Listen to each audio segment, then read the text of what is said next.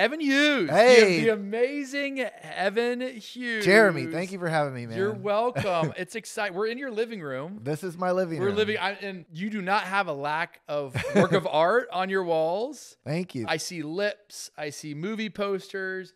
I see all kinds of stuff. I'm very excited to be here.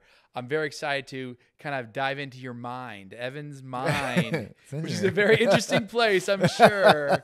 Uh, early on, early life, we're gonna hop around here. But how are you doing today? I'm Everything doing well? fantastic. I do want to comment on my house. So I think the style is a lot of the super, super like weird shit is mine, and then my girlfriend's is the more like granny style stuff. Okay, you know. So but it- Granny meets uh, the weird, the weird. It uh, goes well together though. I don't know why. It just it works. It you know, does- Just it like does she work. and I work. And we're here in the Heights, uh, obviously right bordering downtown. You said you live here before we got on here. You lived here since 2018. That's right. Obviously, you love it here. Uh, speaking of loving it, dude, I see we just were talking about how much Tulsa loves you and you love Tulsa.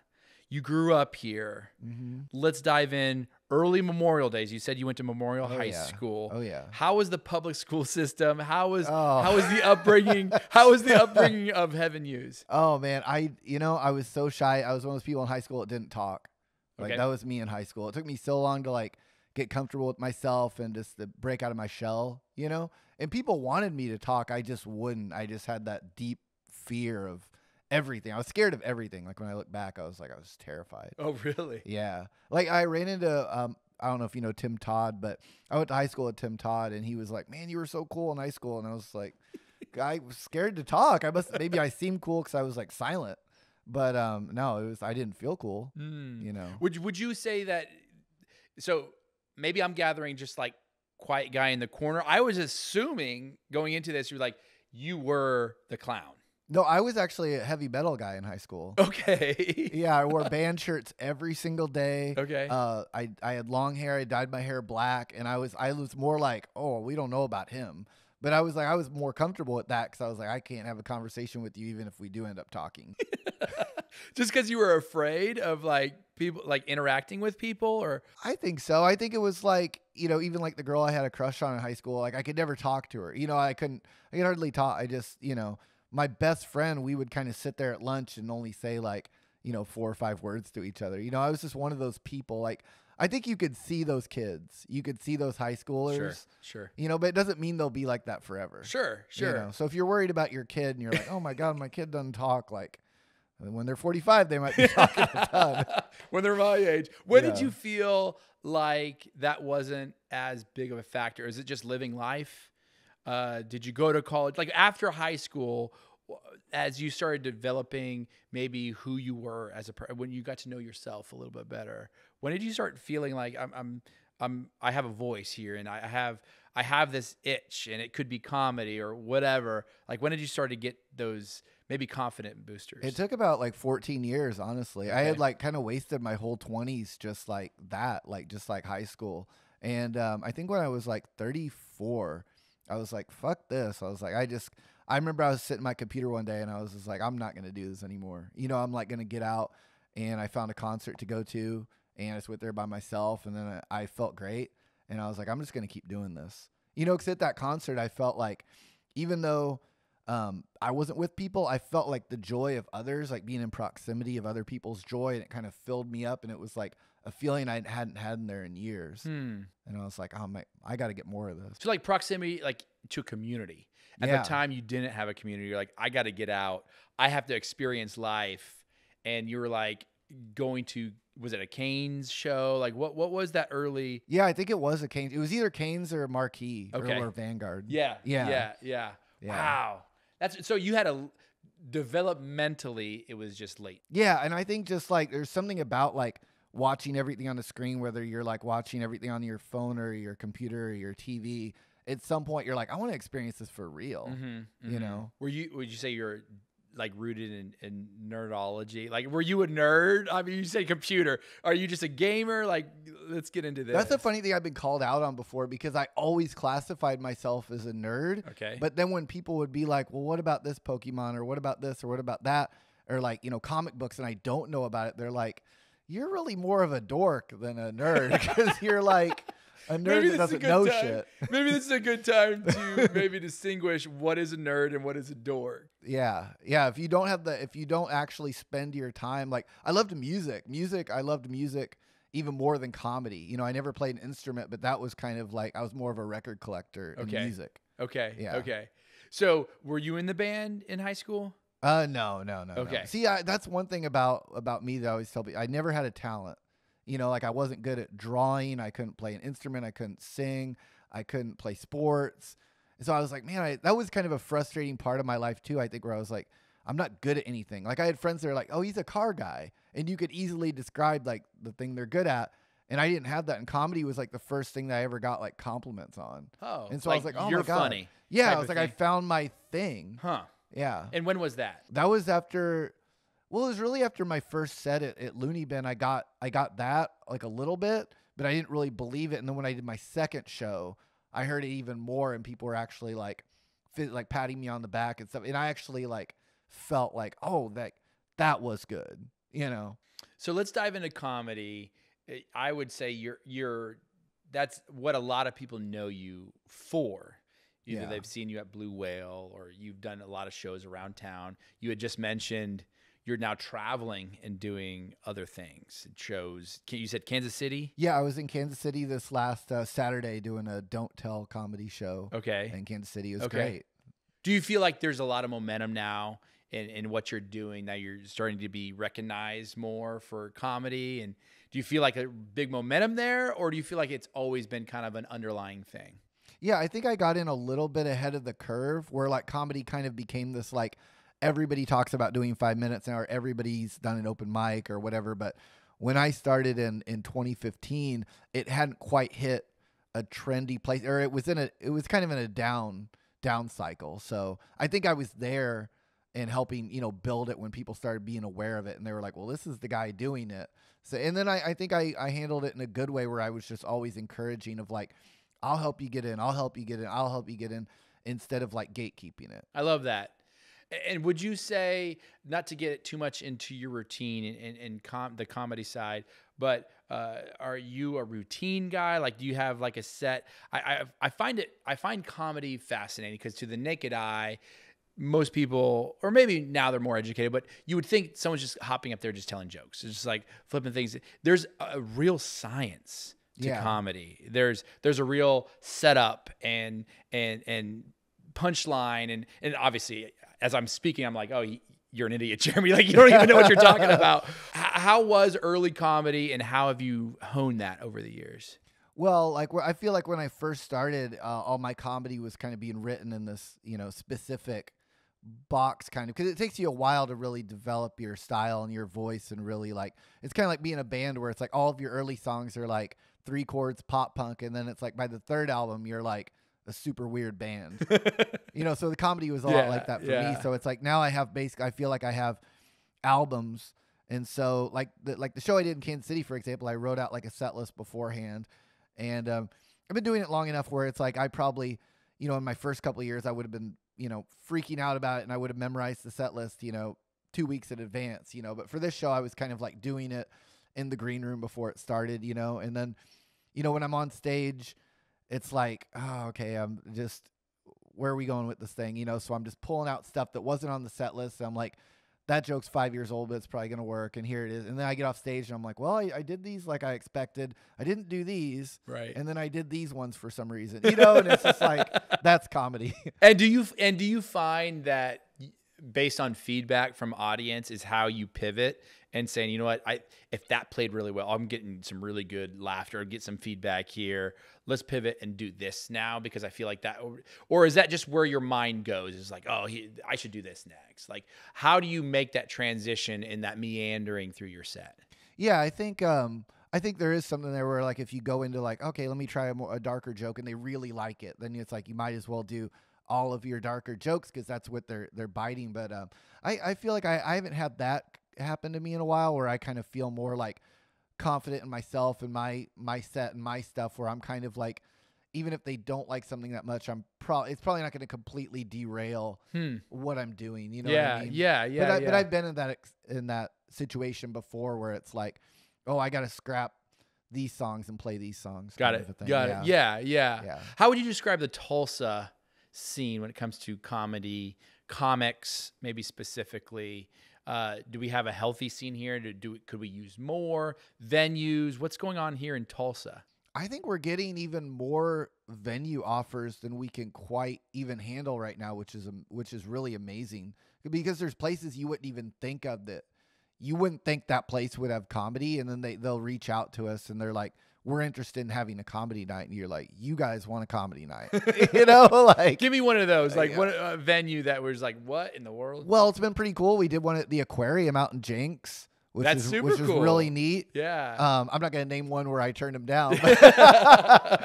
we did the we did the aquarium. We're gonna do that kind of I think like quarterly. okay. Uh, we got reached was this out- like a fundraiser type of thing for the aquarium, or they just have a they just night? want they just want to do some do some shit. Dude, that's awesome. That's Yeah. super cool. And the Summit. Club, Yeah. obviously, which is like a place where you're like, ooh, I don't think we'll ever be able to get in there. You know what I mean? Yeah. Or it's just nothing yeah. nothing personal. It's Sure. just like what use would they have for us? You know what I mean? And. I think just the the longer we've grinded at this thing and the more traction we've gotten, people have taken notice and they're like, it's fine to have those guys in here because it's not going to be a bunch of bad reviews. They're not going to break a window. Sure. I wouldn't necessarily liken you guys to like a rough crowd. Maybe like a, or maybe maybe you've gotten that. I don't know. Well, I think over the years is like it, it- people could assume that. I mean, Sure, because you just don't sure. really know. You're like comedy, and they could think of like the worst thing you would ever Right, associate with comedy. right. So it's something like it's a real wait and see. But I think at this point where people are like, well, the Philbrook does something, you know, the aquarium does, the Summit Club does it. At some point, it's like any Tulsa inst- institution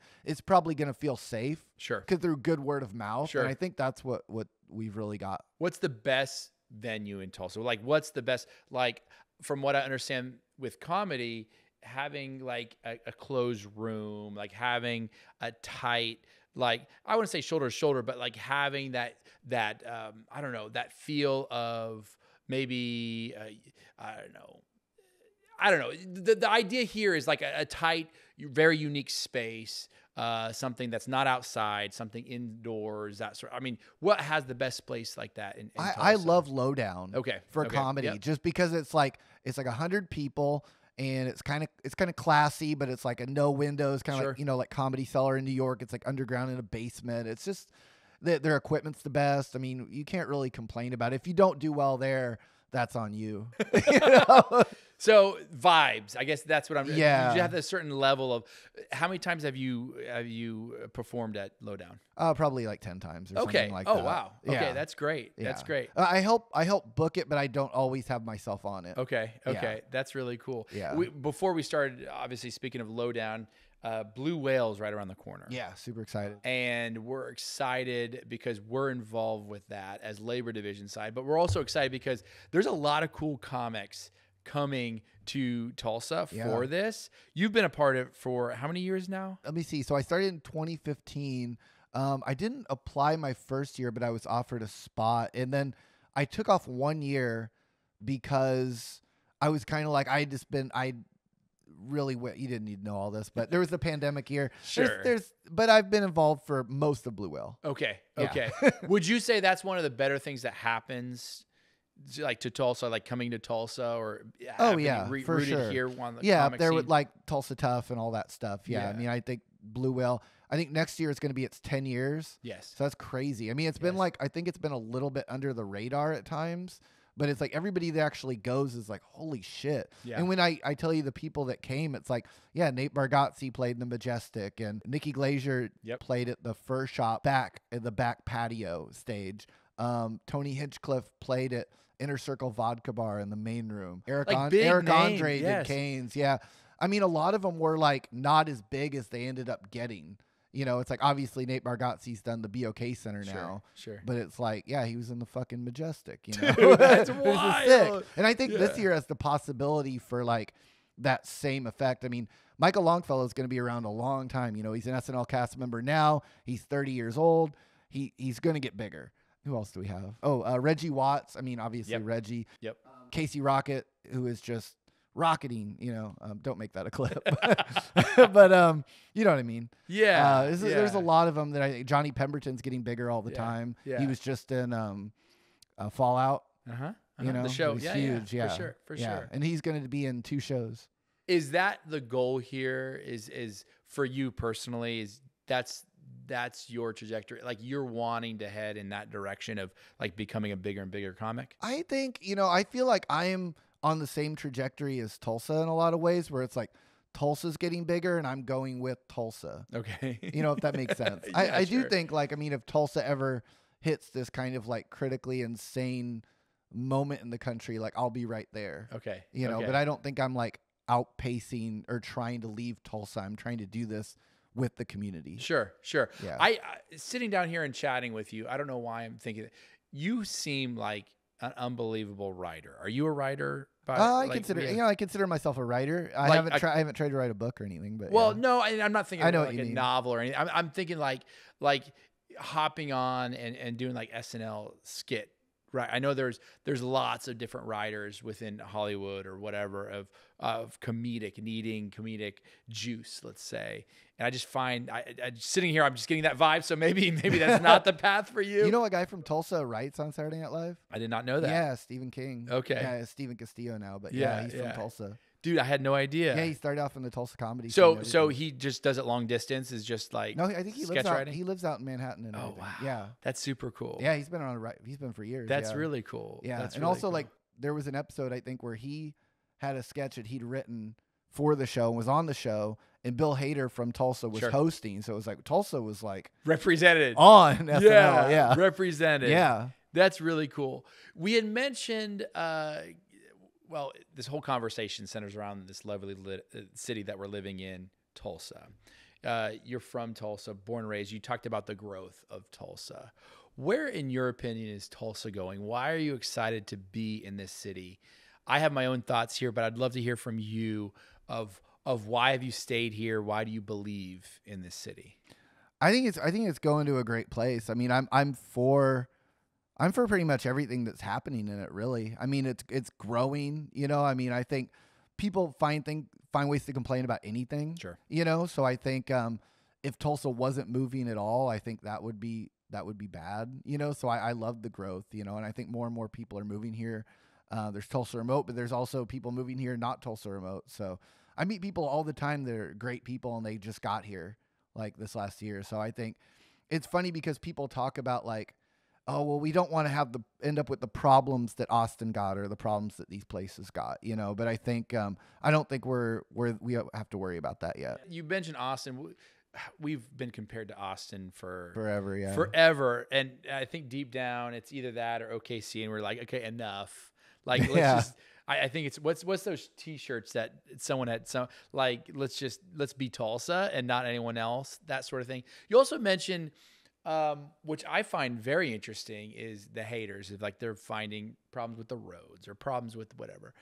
And I specifically went down this dark hole, and it's it's it's been a while now, but like last year to six months of just hate, just just spewed on Facebook or on all these platforms, these social media platforms of what the gathering place is doing or what the city is doing or this, that, whatever. And it just, it, to be honest with you, it just starts to annoy me because I'm by, by, by, by nature, I'm a very positive person. And at some point in time, the negativity of people really is just like, dude, just, just find the, the positive in this. Everyone's, I mean, no offense to anybody, but they're not happy with the way the bridge turned out. Speaking of, over there, off uh, like right there, and, and and we're about to have this big party uh, celebrating this, and I. I love it because the city is is still trying to do their best at the end of the day. It might not be exactly what everyone anticipated, but like Tulsa is still doing great things. And I've I've kind of I'm on this little rant here because I feel like the positivity side of things is something that you bring. I feel like there's there's elements that I've seen you, whether it's been in, in, in during the Blue Whale last year, I've seen you and I've seen you interact and I've, I've heard the things and and I feel like you're a, a real big beacon of good. Thank you, thank you so much for saying that. Do you I- really try? I mean, is that something that you really try to like, you know what, let's be the positive force here? I think I have focused on that a lot, and I think the people that do are able to like get away from those pitfalls i think where it's like you you come online and you're you're railing to get something but it's really like there's a problem in your relationship or there's a problem at your job and it's coming out in different ways or it's just like you've got a lot of anger and resentment and and bitterness and stuff like that. And it's just kind of like you know and you you're just maybe nobody said something about this or you're piling on with other people where it's like oh this is a good opportunity. Like i also hate this thing you know? And it's like if you're not focused on the idea that like complaining ain't, isn't great and hating isn't great it's like you lose track of i think the, the you need to focus on getting away from that you know and i think i've spent a lot of time focusing on like what what can i do that's good or what could be positive or how can we look at this from another angle Mm. kind of a thing Can you give me an example of that? I think even when things are bad, there there's a there's that silver lining to it, you know. So I think if you get if you train your brain to start looking for silver linings and everything, it will eventually just start doing it on its own because Mm. you've just through habit, Right. you know. so I think right. that that's happened to me in a lot of ways where it's like I can't look at something as just like everything's bad because I'm going to try really hard to find the good thing in it. Right, right. What are you excited about in Tulsa? Like what are things popping off and you're like, "Oh man, this is this is really exciting to me or or this is happening uh, that I'm really excited about." this might be kind of a cheesy answer, but I've kind of gotten away from like getting excited about things that aren't here yet because I, I, I think I realized that for me anyway, when I was kind of at my most depressed, I remember having this weird moment where I was like looking forward to my birthday like three months from now. And I was like, that can't be good. It's like I've already given up on like the three months in between here. So it's like I've always kind of focused on like the day. So Mm. like I or in the moment, like I'm doing this right now. Obviously, this is fucking great. And uh, later, you know, I'm going to a, a movie at Circle Cinema, which is supporting local theater. We're seeing that movie like Cuckoo or something, or like something like that. And I'm um, probably gonna get some dinner before. I don't know what I'm gonna get, but probably something local. And I mean, I think I think today, today matters. You know, So you would you say you're a planner? I mean, I've got a I've got a calendar. I finally got a calendar. I, got, oh, I got a calendar. I mean, I mean, are you planning? Because it sounds like, and which it speaks to me, which speaks to me a lot. It sounds like you're the type of person that is in the now. You were just talking about like the today, appreciating the things of today. It- but also contradictory to that is these people that over plan, they over pack their schedule with all this stuff. And I think there's a good middle ground here. So sorry, I interrupted. Are you or would you say you're you're, you're a planner? Well, I uh, for so long I was able to just kind of keep everything in my head, which is insane. Like I was just like remembering everything, and then my my partner was like, "You got to start writing this stuff down." And it did get to a point where like I spaced on a few things, which it's still like I couldn't believe that it Right. happened. Right. You know, someone hit me up about it. I was supposed to do a little spot on some show.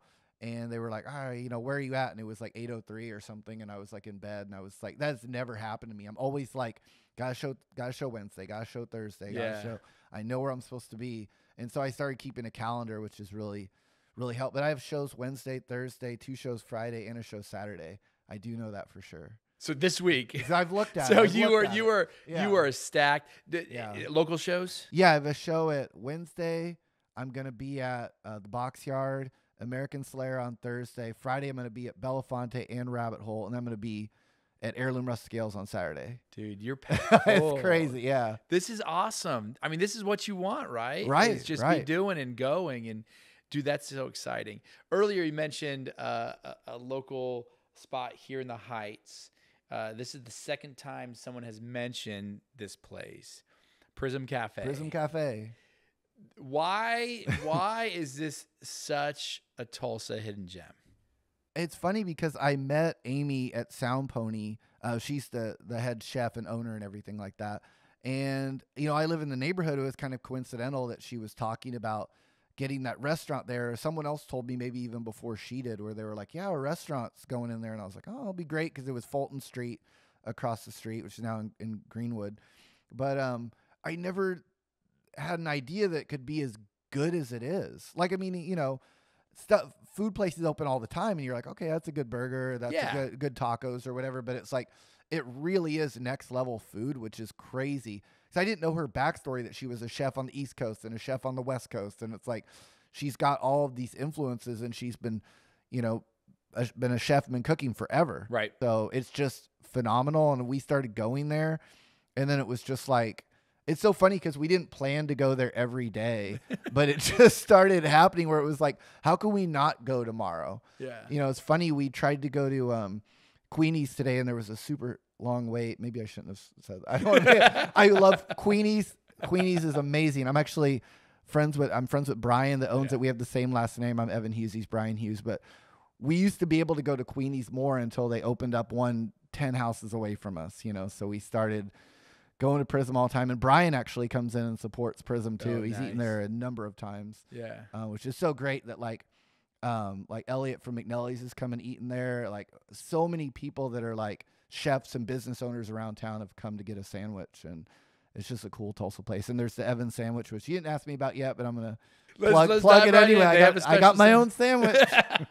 you have arrived, sir. I've arrived. Yeah, I did ask if I could have my own sandwich. Did you really? And they're like, yeah, "Ah." kind of. Yeah, That's really funny. yeah. We're talking local here. You mentioned Circle Cinema. You mentioned having food and uh, like why is local so important to you? Like why is why is that meaningful? Sounds like you might even like certain times you might seek it out of like let's go local, local food, local entertainment. Why is that important? I think I realized like I mean one thing that's important about it I think is that the the people need you. Where it's sort of like, does Luke Bryan need you at his concert? You know, like is he going to notice if you're not there? Your Got it. friend probably will notice if you're not there. I mean, that's that's just a thing where it's like Prism Cafe needs our support. You know, um, Chick Fil A doesn't necessarily need our support. Not throwing any shade. It's just like they've got a line out the door regardless. It's Right. like their their pocket isn't going to notice Right. um, your money. But also, you know, there's an energy exchange too. I think with like, um, I, I've I've told people a long time ago, you know, if you start if you start following a local band and you go to all their shows, they might not meet you until they see you at like the seventh one, but eventually it's like they're gonna be like, hey. We got to find out who this guy is. It's been coming to like all of our shows. There's kind of a, there really is an appreciation there and a curiosity there and like a, an energy reciprocation, especially in a place like Tulsa.